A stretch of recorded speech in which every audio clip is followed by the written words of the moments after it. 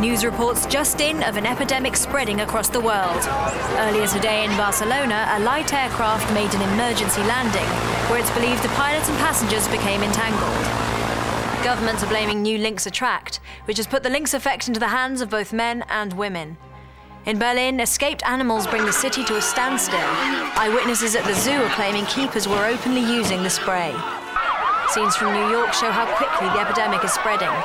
Emergency responders say the scale of the chaos may be beyond any sense of control. Felicity Jones is in New York.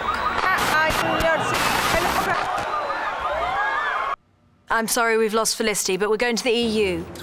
N'achetez pas les nouveaux Lynx Attract. Restez chez vous, fermez vos portes à clé. The EU are warning men and women. Stay inside, regards d'une personne lock your doors, avoid all contact with the opposite sex, and not buy new Lynx Attract.